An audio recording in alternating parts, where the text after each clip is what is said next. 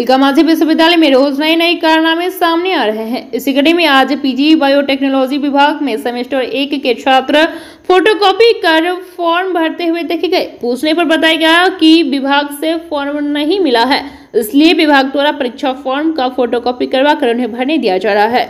वहीं विभाग के कर्मियों ने बताया कि उन्हें विश्वविद्यालय द्वारा फॉर्म नहीं उपलब्ध करवाया गया है। एबीवीपी के विश्वविद्यालय संयोजक आशुतोष तोमर ने बताया कि फॉर्म भरने के नाम पर प्रत्येक छात्र से दो सौ पचास रुपये विश्वविद्यालय ले रही है। बदले में फॉर्म की जगह फ़ोटो कॉपी दे रही है।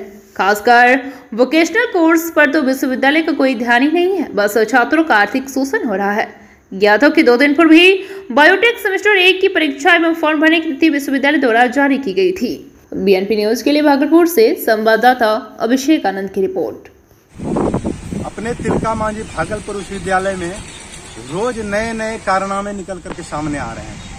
आज इसी कड़ी में जब हम लोग पीजी बायोटेक्नोलॉजी डिपार्टमेंट पहुँचे तो वहाँ पर सेमेस्टर वन का फॉर्म भरवाया जा रहा था छात्रों से। और फॉर्म भरवाने के लिए नाम पर जब छात्रों से पूछा गया तो उनको फ़ोटो कॉपी उपलब्ध कराया जा रहा था। यानी कि जो फॉर्म दिया जाना चाहिए था उनको, उसके जगह पर फॉर्म का फ़ोटो कॉपी दिया जा रहा था।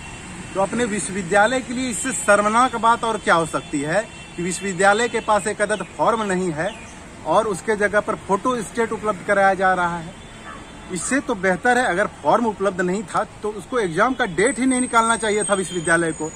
विश्वविद्यालय का अधिकार, अधिकारी आखिर क्या करते हैं विश्वविद्यालय में?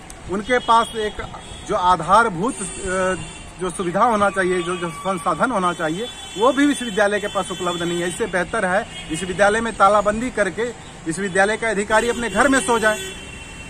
हम विश्वविद्यालय के अधिकारियों को बताना चाहते हैं, कान खोल कर वो सुन लें कि वो विश्वविद्यालय के तमाम संसाधनों से दुरुस्त करे, अन्यथा विद्यार्थी परिषद किसी बड़े आंदोलन के लिए बाध्य होगी। आशुतोष सिंह तोमर, विश्वविद्यालय संयोजक, तिलका मांझी, भागलपुर विश्वविद्यालय, भागलपुर।